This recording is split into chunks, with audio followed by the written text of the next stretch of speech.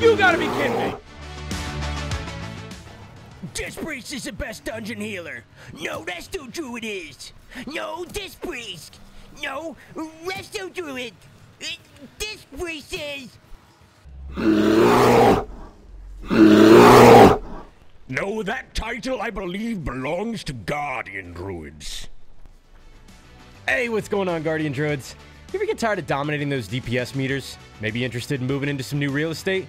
Well, today we're going to change gears a little bit and see what it is we can tweak and tune to help those whose job it is to keep the team alive. Let's get into healing. Before we get started, I'd like to take a second to thank the sponsor of this video, and that is my Twitch channel. Without their love and support, I wouldn't be able to do this, so thank you, Rage Nation. Alright guys, by this time, you already know how it goes. We're going to be breaking it down based on talents, legendaries, and conduits. However, this time we're going to be taking a little bit more of a scrutinizing look at what it is that makes Guardian Druid so damn versatile. Unlike the last few guides we've done here, this one's going to be significantly more niche in its application. It's going to be reserved for those weeks where bursting and grievous cause the healer to require a little bit more help, a little bit more love. That's where you're going to get in there. Or maybe your team has a few extra CC abilities, allowing you to kite and heal while your healer focuses on laying out some more damage. Regardless of the playstyle you and your team choose to observe, we're in for another fun one, starting with talents. Now, while today's build is oriented around creating a stronger team healing Guardian Druid, it should also be noted that the higher output you have, the less chance you have of losing threat to an ally while in the kite phase of your pull. For that purpose, and in the interest of saving time and avoiding redundancies, I recommend using the offensive talents we chose for our top damage build linked in the video below. Alright, now that that's out of the way, the two talents that we want to take that will directly increase our immediate and heal over time effects are Restoration Affinity and Heart of the Wild. Restoration Affinity granting passive heals through Ysera's gift for you and your party when you're at max health, increasing your healing toolkit overall and giving you the extremely valuable Ursol's Vortex with regards to kiting.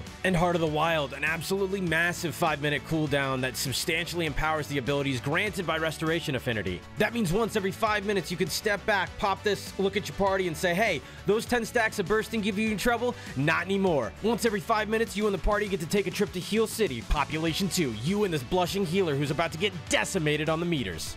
Alright, now that you've got your talents sorted out, we're going to be looking at legendaries. Now, the legendary we chose today was Circle of Life and Death. This is for a couple different reasons. First of all, its increase in your damage over time effects allows for you to generate even more threat during your Berserk and Incarnation phase. And secondly, it makes those heal over time effects a little more effective in a pinch, which is exactly what this build is oriented around, getting those heals out in the pinch situations where your healer needs just a little extra support.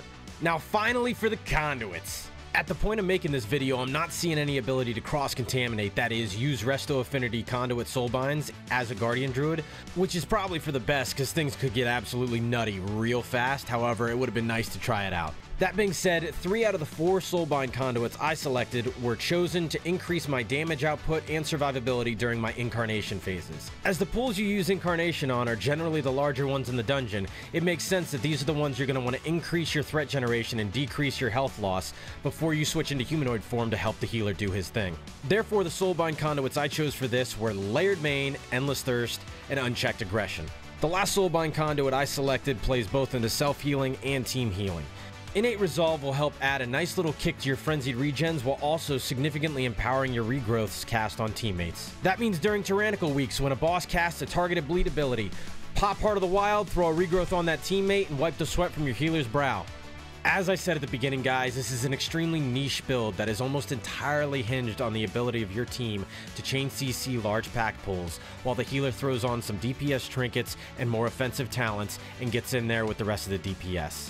However, on fortified weeks where quickly and efficiently moving through trash mobs may mean the difference between timing a key or not, a build like this could therein lie the key. Alright guys, it's time for me to shut my ugly looking gob and show you what it is we've been talking about. Remember, if you liked what you saw here today, please make sure to subscribe and hit that thumbs up button. Your support is what allows me to continue to do videos like this. If you really liked what you saw, check me out on Twitch. I stream Monday through Saturday, 5 p.m. EST until about 10.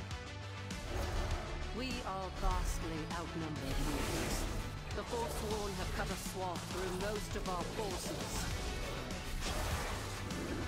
Vanquish their rear guard while I confront Devos. Go in service.